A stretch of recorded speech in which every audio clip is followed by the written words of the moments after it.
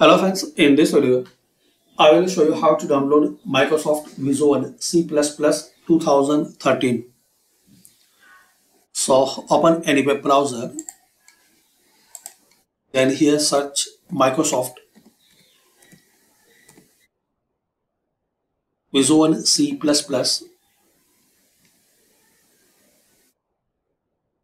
2013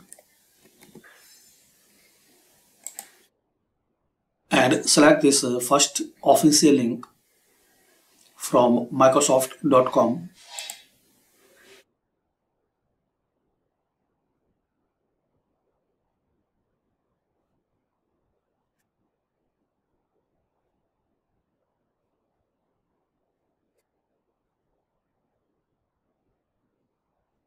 now here click on this download button.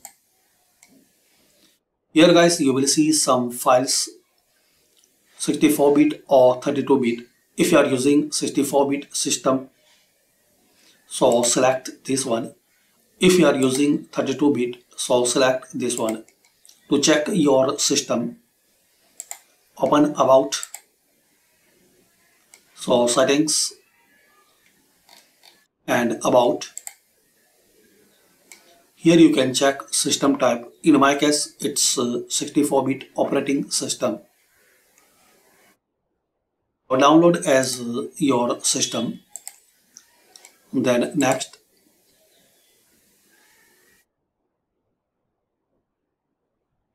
Now wait for a few seconds. Now once you successfully download double click on this setup file. Now check this box then install it will ask permission, so click on yes.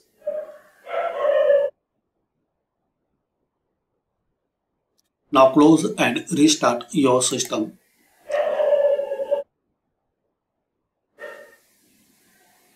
So this is the method guys to download and install Microsoft Visual C++ 2013 thanks for watching. Comment this method work for you or not